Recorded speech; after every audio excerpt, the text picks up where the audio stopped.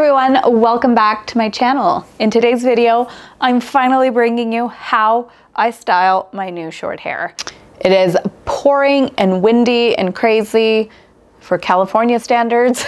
and so we just basically, we don't know what to do with ourselves when it's like been raining for three days straight. So what a better way than to spend it with you guys. I've now had about two weeks of styling it and playing around with the length. So I'm just bringing you kind of my sort of every day. I am going to be showing you two different styles. If you can see, this is a little bit more of like a bend in the hair and this one's a little bit more of a wave. I'm going to be showing you products that I use, different tools that are, I guess, more helpful with shorter length hair. All right, let's get into the tutorial. So first I like to do a rough dry. That just means blowing my hair out without a brush, just simply to get the hair dry.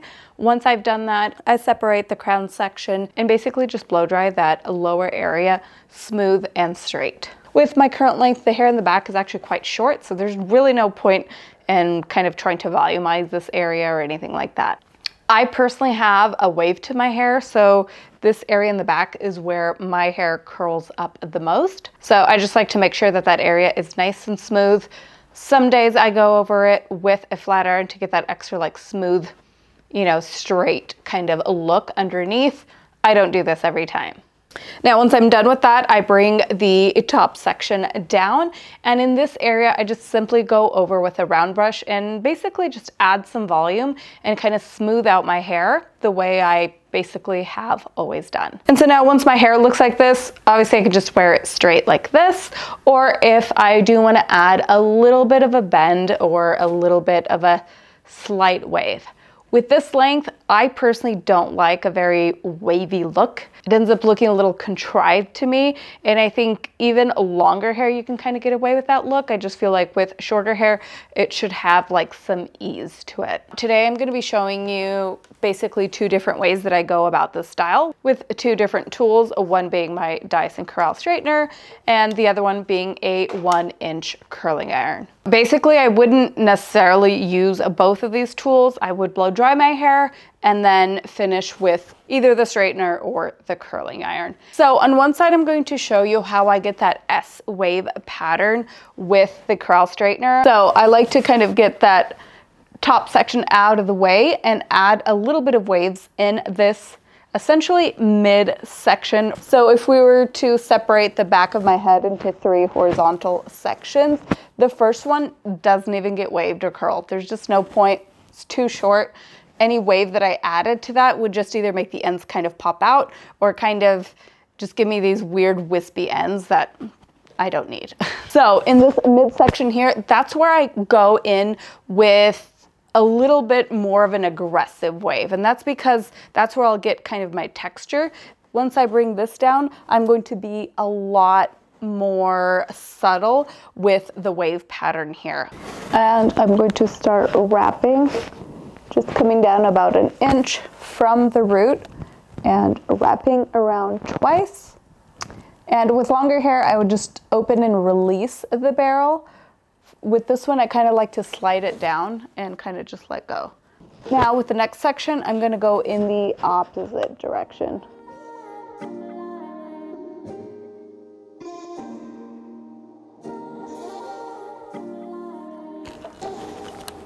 And closer to the face, I really only want a slight bend, so I can't see what I'm doing. I'm going to grab that top section. And I'm just going to go in with my flat iron now and add that S wave pattern.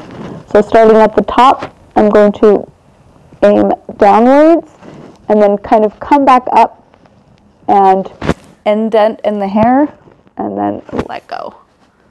That look crazy? I literally can't see what I'm doing. And then basically I'm gonna grab a wide section and same thing, bringing it down create an indent, and then always come slightly back up from where you left off and then do the next section. And then kind of to break that up, I like to grab a smaller section of hair and then going in with the curling iron to just to break up that wave and just give it a little bit of a different texture.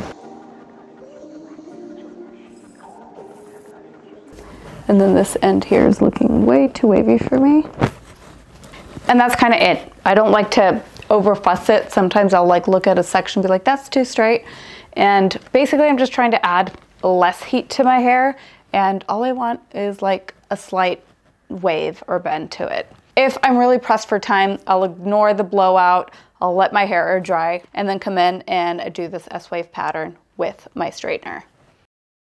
And on this side, I'm going to show you just simply with the curling iron. And I don't know why, but on this side, I always start in the front, and then on this side, I always start in the back. I don't know why. It would feel so weird to start in the back on this side.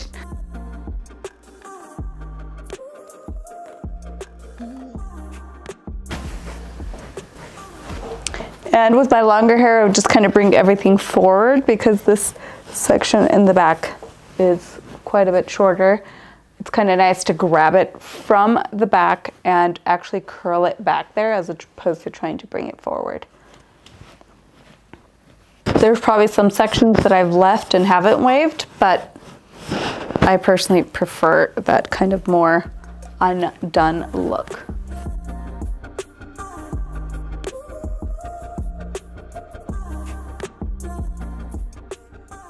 Again, grabbing the next section.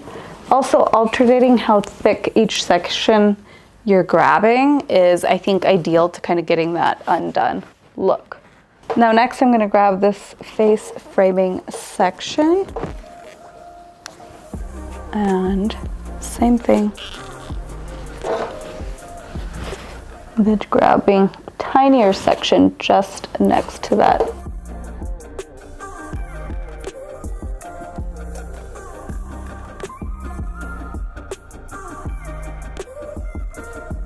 Slightly different on that side. I feel like I definitely get more of that oof, like outer swoop, which sometimes I'm into. And then if I feel like it's a little too wild at the ends, I'll just get the straighter and just kind of fix, especially like the face framing pieces, pieces back here, I feel like can be a little bit more wild and it looks fine. So I feel like this one is definitely a little bit more done. I feel like this is kind of how salons typically finish the hair, especially in this length. I feel like for every day, I definitely prefer this one. But if I'm being honest, tomorrow morning, I feel like when I wake up, this side will be my favorite and this one will be a little bit more straight or like I've not done anything to it. And then I'm just gonna finish with a few drops of that oil to give my hair some shine.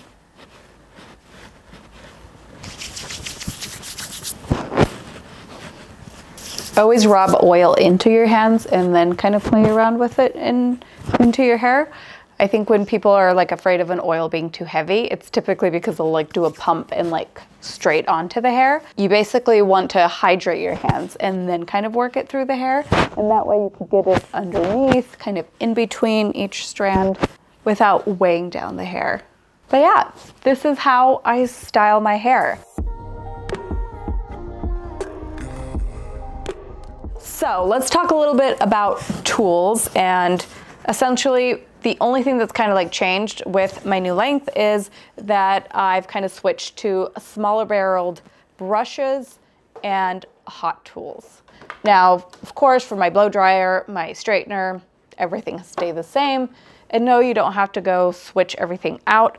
I just would use these really, really large barreled round brushes, larger than this one, and they just weren't really helping with the back of my hair. So slightly smaller brush. Ideally, I think everyone should have three size brushes, but I know that that's probably the hairdresser and me talking, and the average person does not need three different sizes, but a large, a medium, and a small. Now, people think that the barrel size is the wave pattern. And these round brushes are not meant to curl your hair, but always think of your round brush as a never ending flat paddle brush. So you're always just keeping it straight on the hair.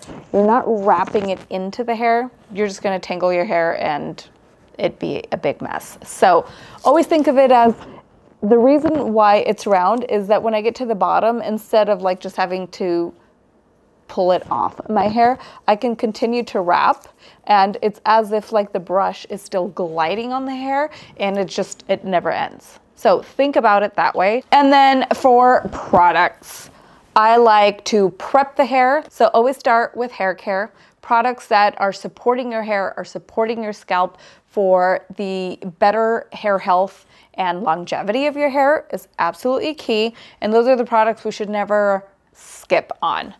When it comes to styling products, those I feel like should be used a lot more sparingly, so only as needed. But of course, I have my favorites and I am going to share them. You'll probably notice that I don't share a lot of styling products on my channel, and that's because they're just, they're not good for your hair. They're not. That's not what they're meant to do. They're meant to give you a look, a result. The result being the style. Anytime you see a styling product that is kind of disguised as hair care, it really bothers me because if you think of hairspray, texturizing spray, they have to contain alcohols in order to freeze the hair into that shape. And those are just not good for the hair. Now, I will say I've made videos in the past talking about alcohols being bad in hair products. There are different types of alcohols in hair products. They're called like fatty alcohols, and those actually can be hydrating to the hair and they support the product in making it last longer. Whereas there's really bad, cheap alcohols that basically style the hair, but awful, awful on the hair. Okay, there could be a whole separate video on that. But in terms of styling, like I said, I don't use it a ton. If you do like a little extra texture to your hair, Oribe's texture spray is amazing. Let's just be honest, the main reason why I love it so much is the smell, of course. And I think the reason why most people use Oribe. And I feel like their styling products are great because they really do deliver that result. Their hair care line, their shampoos filled with silicones, not so much. But we're talking about styling. If you're looking for a very flexible, um, nice smelling texture spray, the Oribe is great. I also love the Kevin Murphy Bedroom Flexible Hairspray.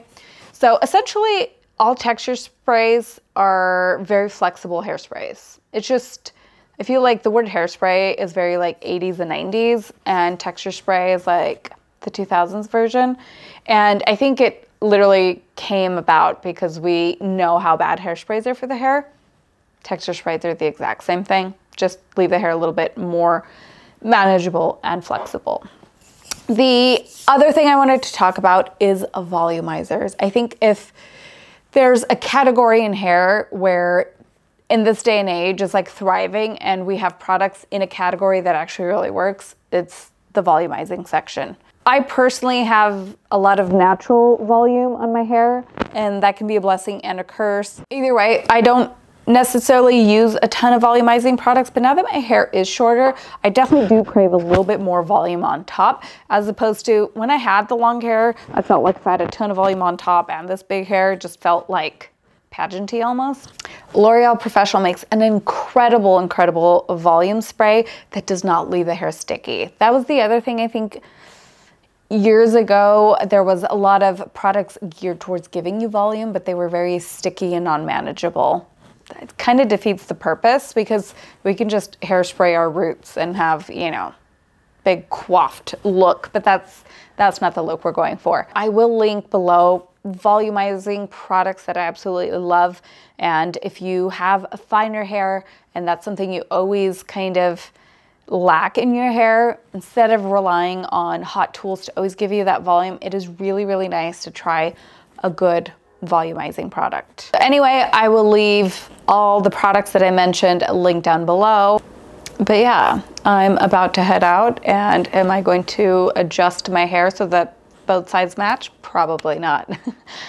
Who has been here since that video where I showed you how to darken your eyebrows or lighten them and I did it, you know, both results on my face and I went for a week with those mismatched eyebrows. so, all right, thank you so much for watching. I hope this video was helpful and I'll see you in the next one. Bye guys.